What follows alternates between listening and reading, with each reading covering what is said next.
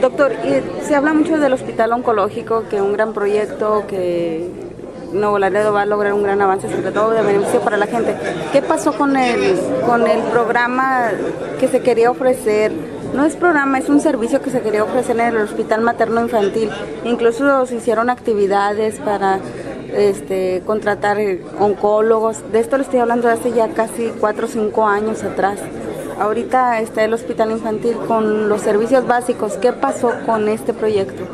Sí, mira, todos los proyectos no, son, no son proyectos, son proyectos muy buenos que por una u otra cosa se van frenando por los presupuestos y que tienen que dar pasos, pasos este, bien fundamentados para crear esto. No puedes crear un hospital muy antiguo como es el hospital civil, hacer un hospital oncológico. Por eso primeramente tienes que tener la estructura y por eso está creando este hospital que ya fue una propuesta de gobierno aceptada y que el, futuro gobernador también ya, ya está trabajando sobre esto. Y bueno, el hospital oncológico y el hospital materno infantil se van a crear aquí en Nuevo Laredo, son propuestas que tienen que hacerse en el curso de estos años.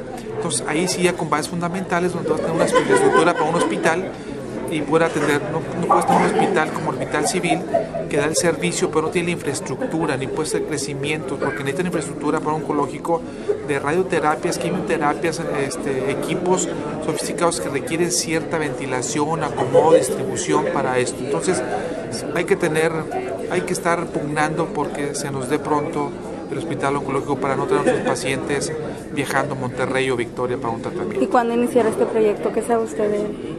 Mira, la verdad son proyectos que van a entrar con, el, con la nueva administración y esperemos seguir para estar pugnando y apoyando, más bien apoyando para que pronto se los realice el Hospital Oncológico de Nuevo Laredo.